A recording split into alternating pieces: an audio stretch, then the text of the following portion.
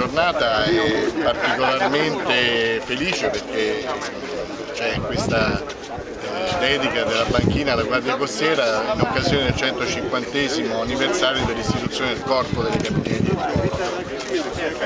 in più c'è quest'altra quest felice occasione, quella di presentare in via definitiva la unità navale classe 700 che è destinata permanentemente all'ufficio locale marittimo di Senigallia. Un fatto abbastanza raro che un mezzo così moderno, così utile possa essere